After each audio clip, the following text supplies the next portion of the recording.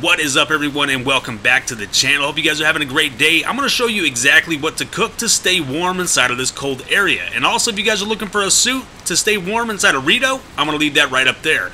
That shrine over there, I'm going to show you guys exactly where I'm at on the map as soon as I show you exactly what you need to do to cook these bad boys up. These peppers are a little bit of everywhere. They're down there below the hill. They're right here. They're all over the snow area. Just keep an eye out for them and definitely grab them up and do not just start shoving them inside your face. You want to cook them. Alright, going to show you exactly how to do this.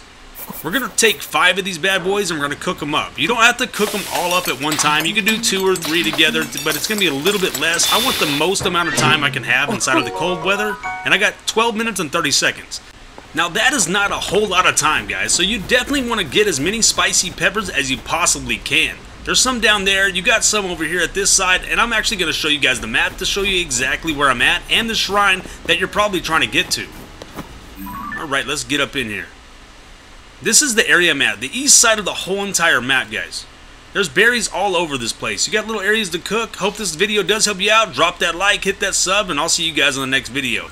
Goblin out. Peace.